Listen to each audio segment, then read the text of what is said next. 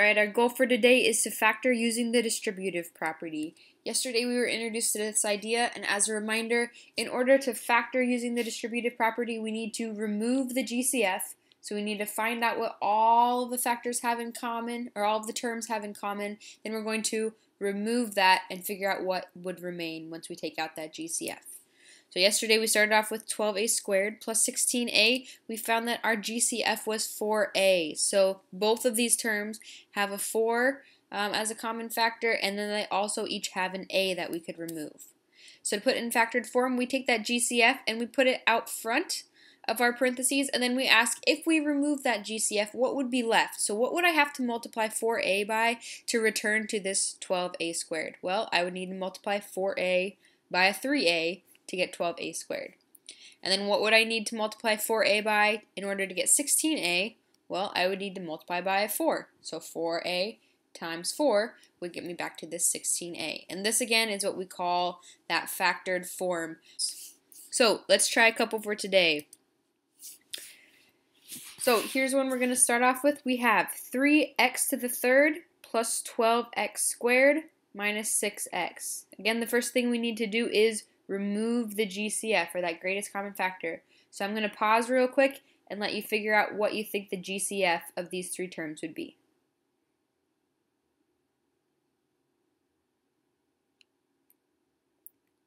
Alright, if you said the GCF was 3x, you would be correct. We can take a 3 out of all three of the terms, and we can take 1x out of all of them. So we have 3x as our GCF. So now what we need to do, since we have the GCF, is we need to figure out if we removed a 3x from each of these terms, what would remain?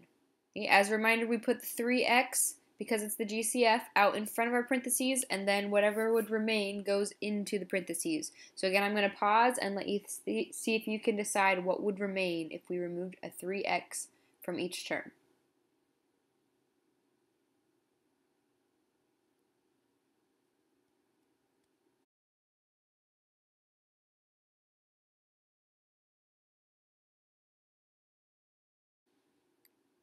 All right, and here is our answer.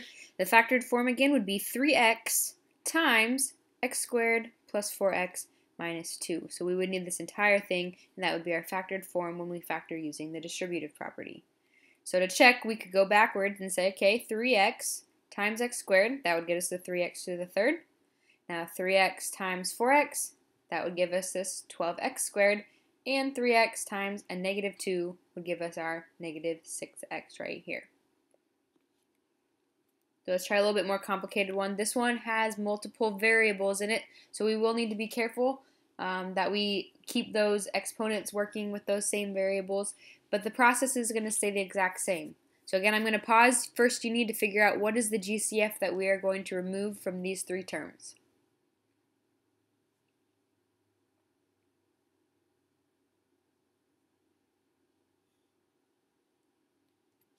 All right, and here is our GCF. We could remove a 6 from 18, 12, and 24. So we have our 6 here. Out of the x's, this one has x to the fourth, x to the second, and x to the second. So we can remove an x to the second from all three of the terms. then when we look at the y term, we can only remove a single y because this last term only has one y in it.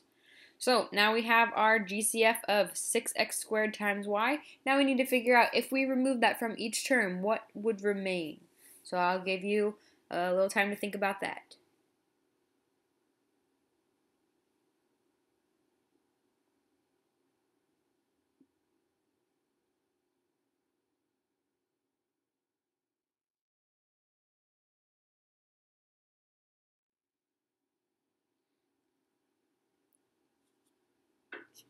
All right, and here is our answer. Again, we pull this GCF down, we put that in front of our parenthesis, and then we ask if we took that GCF out of what we began with, what would be left? Well, if we took that GCF of 6x squared times y out, we would be left with 3x squared times y minus 2y squared plus 4. Okay, so again, we could double check. We could distribute this 6x squared y to each term and figure out if we got back to this original statement up at the beginning, which in this case we would. So we have the correct factored form right here. You always want to double check and make sure that there's nothing else in here that we can factor out. That would ensure that we did get the GCF from the very beginning. Okay, so here we're going to do a little bit of practice. Here are three problems just with one variable, some a little bit easier ones to start us off.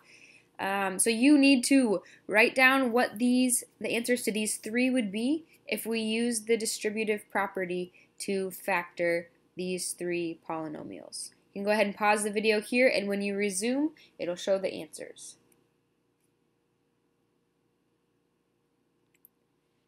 Alright, so here are our answers uh, for the first three. For number one, the only thing we can factor out is this 3. That's the only thing that both, or that all three of these terms have in common. So we have to take out a 3. When we take out the 3, we're left with 3x squared plus 4x minus 1.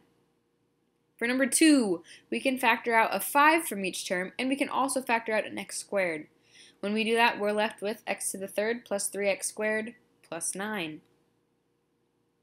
And for number 3, the only thing we can factor out is an x. We don't have to factor out a number because in this case, there's nothing that can go into 8, 6, and a negative 3. The only thing that we can factor out is this x. And when we factor out the x, we're left with 8x squared plus 6x minus 3. Okay, so those were three of some easier ones to work with. Let's try a couple more challenging ones here. So again, these three here, you need to factor these using the distributive property. Go ahead and write down your answers for numbers 1 through 3. You can pause the video here, and then when you resume, the answers will appear. And here are our answers for numbers 1 through 3. These are a little bit more challenging. Um, for number 1, from both of these terms, we can factor out a 2 and we can factor out a single x. We can factor out 2x. That leaves us with x times y plus 2 would remain. For number two, we can factor out, this one we can factor out quite a bit actually. We can factor out 3x to the third times y squared. And when we do that in this first term, we need it so that when we multiply this and we distribute it here, we need to have 3x to the fifth, y to the third. Well, that means that we would need to multiply by an x squared times y. And in order to get this second term here, it is a negative term, so we need to multiply by a negative 4. And our third one here, we have uh, a 9y to the third power was the only thing that we could factor out. We could not factor out any x's because our second term does not have any x's in it. Okay, so when we factor this 9y to the third out, we're left with 2x to the eighth plus 1. Alright, for tomorrow, you need to complete numbers 1 through 6 on the factoring 1 assignment in your packet. If you would like some additional notes or additional practice, uh, you can go to the Google Classroom website and I've attached a link that will give you some extra practice. It gives you kind of a step by step and breaks it down uh, from one step to the next step, giving you some guidance on, I think it's eight more problems. So if you want to look at that, you can take a look at that. Otherwise, you need to complete numbers one through six in your packet for tomorrow.